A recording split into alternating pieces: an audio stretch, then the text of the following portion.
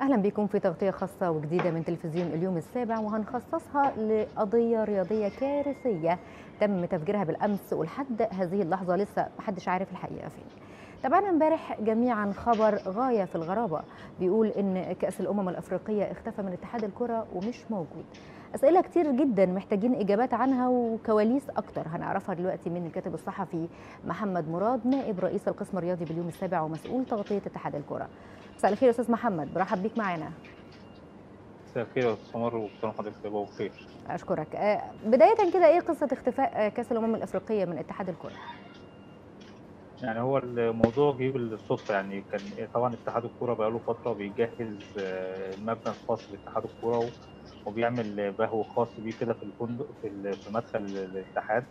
ويتم وضع فيه بعض الكؤوس وبعض التيشيرتات الخاصة ببعض اللاعبات النجوم زي محمد صلاح وزي أحمد حسن وزي عصام الحضري فبدأوا يدوروا على الحاجات اللي هي الخاصة باتحاد الكرة ومنها طبعا كأس أمم أفريقيا اللي إحنا فزنا بيه ثلاث مرات متتالية ده حاجة طبعا تاريخية لمصر و فكان طبعا لازم يبقى موجود من ضمن الحاجات الأساسية اللي تبقى موجودة في المتحف الخاص لمدة الكرة. 10 سنين طبعا مم.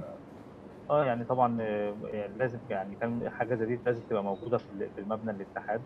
فبدأوا بقى من هنا يدوروا على الكؤوس ففوجئوا إن مفيش كاس آه، البطوله الخاصه ببطوله امم أفريقيا تحديدا 2010 من هنا بقى بدأوا العمل اتحاد الكرة بدأ يعمل جرد لل- للكؤوس والدروع والحاجات اللي موجودة دي.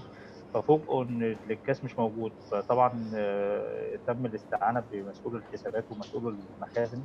اللي هم. بيبقوا مسؤولين عن اللبس وعن الحاجات الكؤوس والدروع دي بيعلنوها في أماكن معينة.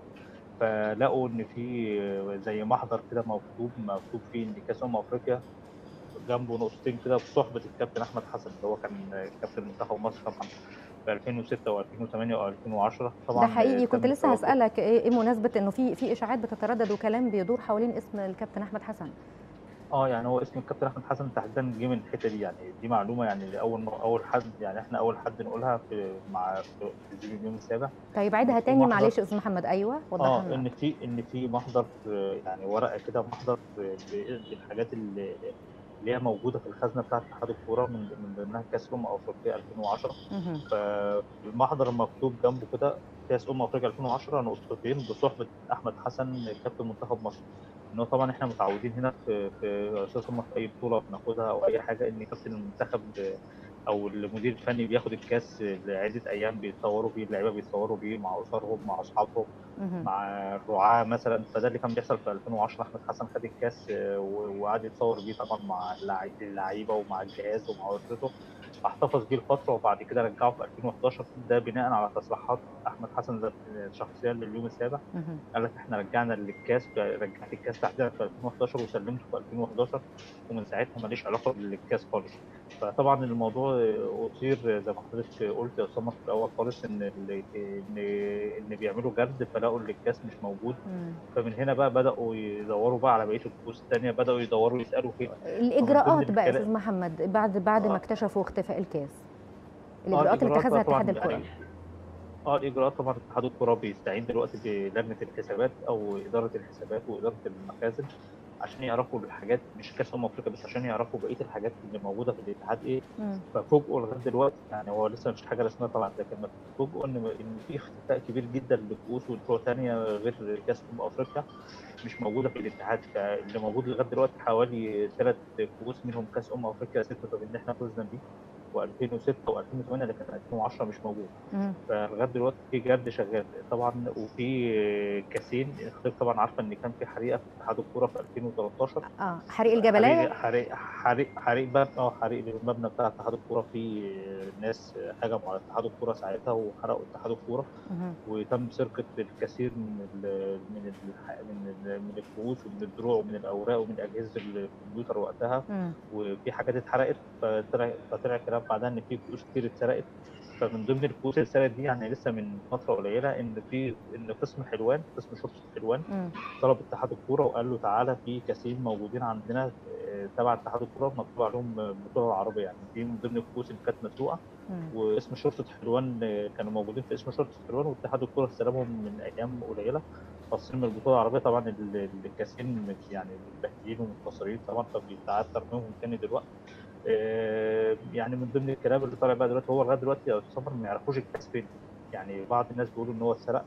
آه، بعد الحريقه في ناس بيقولوا لا ده رجع بعد الحريقه وتم تسليمه لل- للجنة اللي كانت موجودة أو الاتحاد اللي كان موجود ساعتها والمدير التنفيذي يدعى العميد ثروت سويلم. وتم تسليم لكن بين 2015. القيل والقال ده على أرض الواقع الكاس مش موجود.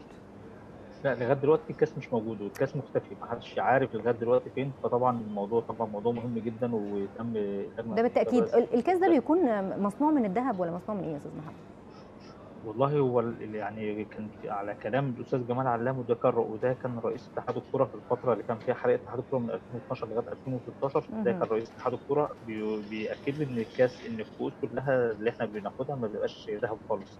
بتبقى من المعدن أو من الخشب مفيش مفيش منها ذهب خالص مش يعني ذهبية، حتى اللي آه. موجود آه مفيش ذهب يعني حتى اللي اتسرق آه، بيقول لي اللي اتسرق ده برضو مش مش كاس مش. ذهب.